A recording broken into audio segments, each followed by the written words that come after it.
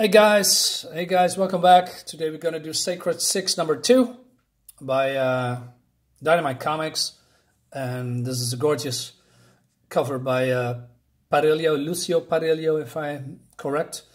Um, I did a review of issue one a while back. Um, I'm gonna leave the link in the description if you want to see that. Um, and the story is a little bit convoluted um, because every chapter, or better yet, every comic, has been, you know, cut down in chapters. You know, one person has three pages of screen time, then it goes to the next one, to the next one, to the next one.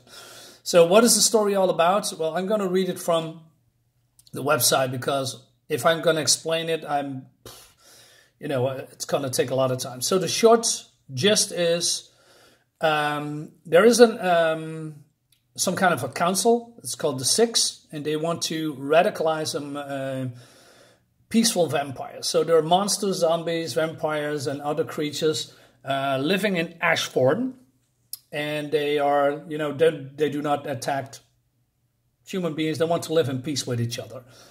And the six wants to go back to the old ways. They want basically the rule because they think what's happening now is not, you know, vampire-like. They are uh, radical cults, if you sort of, and they uh, they hold on to the old vampire ways, if you will. And um, but in issue one, there are two young boys missing. The problem is that. Um, when the state is going to investigate and they cannot find the the missing boys, they go look into the nearest town called Ashthorne, and if they see you know something like a shambling zombie, well, or a vampire, you know what's going to happen. The whole town is going to get raised by the authorities. So what the town is going to do, or maybe the the mayor, who is a vampire, uh, he wants to find those two boys, and he sends Pantha or Pantha um, uh, on a journey to find those missing boys. Uh, in the meantime, Lilith of Drakulon has her own agenda, and she is recruiting half vampire Chastity and an all new Draculina to have uh, achieve her own personal goal, but also in the meanwhile, or in the meantime, Nyx, daughter of the mad god Chaos, hunts Lilith, Lilith for revenge. So and so there's a lot of all of, you know, intertwining storylines. Um, if you have to wait a month for to, to get this book, it's, it, like I said, it has convoluted stories because it skips from one character to another character to another character in a very short time. And they have their own, you know, versions to tell. For instance, um, this is uh, set back in Egypt. Um, and it's, it's, um, tells a story about uh, a queen, Samira. Her husband, the pharaoh, died and they had a baby, but it's not her baby, it's this woman's baby, uh, probably a second wife or maybe a concubine. Uh, so that means the baby is a threat to the power and wealth and the throne. So what she's going to do, she's going to do everything in her path to, you know, get the boy and kill the boy. And what she's going to do, she's going to lock her up in some kind of a tomb in, in a temple. And then um, this creature is uh, popping up. Looks real cool, by the way. And um, Samira uh, promised the, the, the cat god to, um, well, if the child has been taken, uh, he will serve uh, him for life. So the cat God grants uh, Samira um, some unusual boon and power. She can look through every cat's eyes in Egypt. Um, so basically, she has unlimited spies. Depends on where the cats are. So she finds the um, the child that she's gonna go on a hunt, but she is not in her how do you say, emperor's clothes or queen's clothes because she wants to murder him and that would be bad if people find out. And she wants also kill everyone that, you know, uh, follows her because that's evidence if people find out. So there's a lot of shenanigans going on. It's really interesting. And then uh, cool covers, skipping a few pages. So I must say I like really like this page. Um, the problem is, is this is Lilith, by the way. And um, what is the problem with Dynamite Comics is what I tell a lot of. Um, well, in my reviews, I always complain about backgrounds, and Dynamite Comics has one of the worst, if not the worst, comics with no backgrounds. This is not one of the worst. It's pretty okay. Still have lack of backgrounds, but when you go to, let's say, Red Sonja, uh, and even the, the normal Vampirella comics, it's atrocious when it comes to backgrounds. There's nothing there.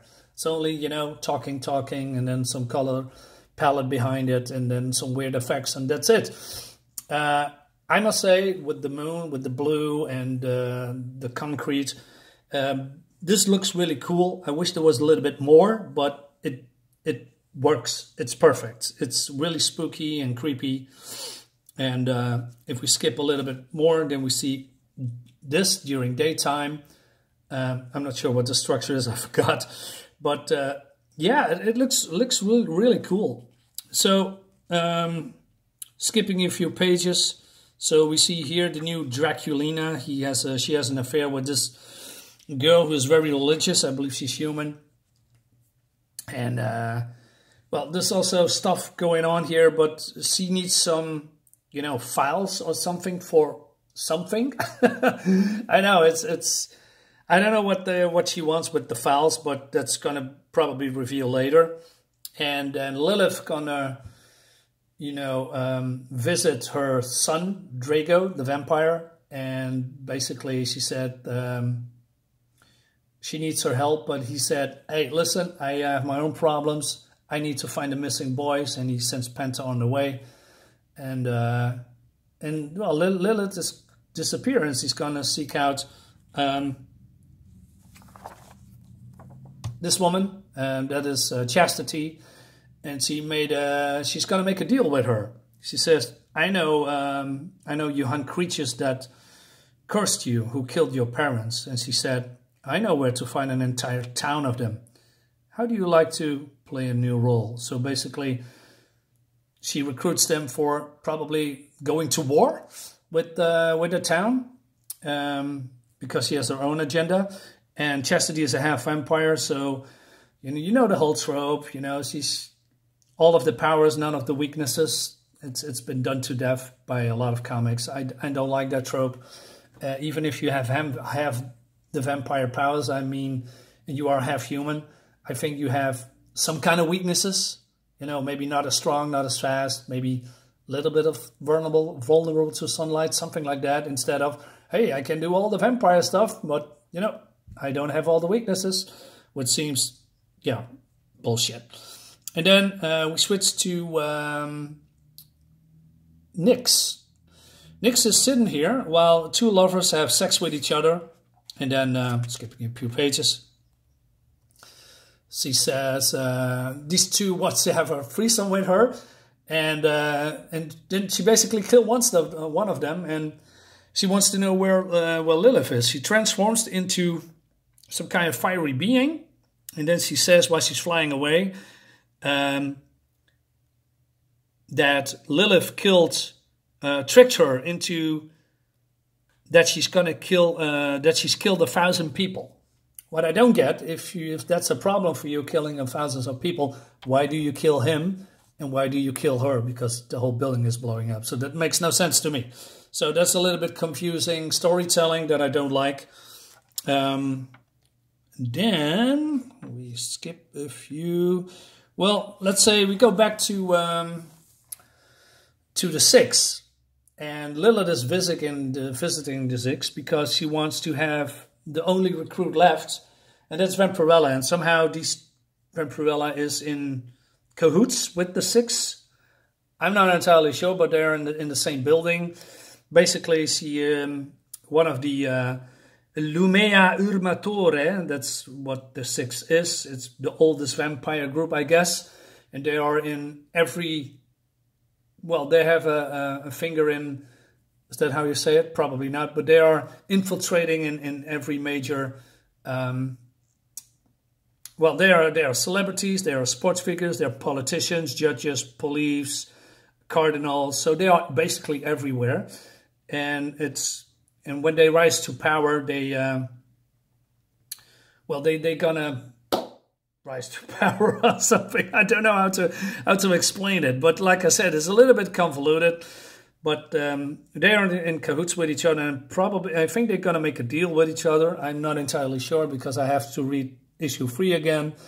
Um, I, I, I I'm not sure if I like the the comic. It's not a bad comic. I like where the story is going, but sometimes they speak about things that um, leads to another comic, like you know Vampirella or even uh, other comics from Dynamite that I don't have.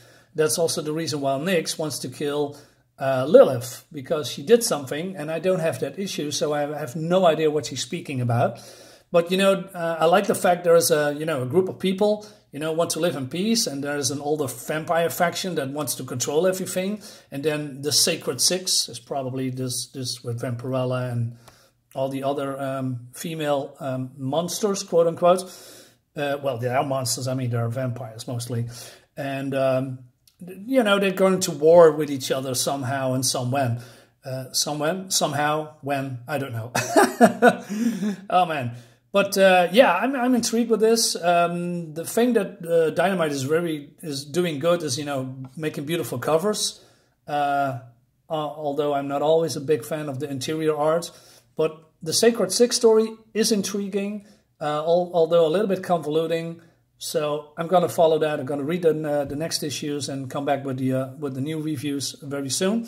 So thank you for watching, and um, yeah, I'll see you next time.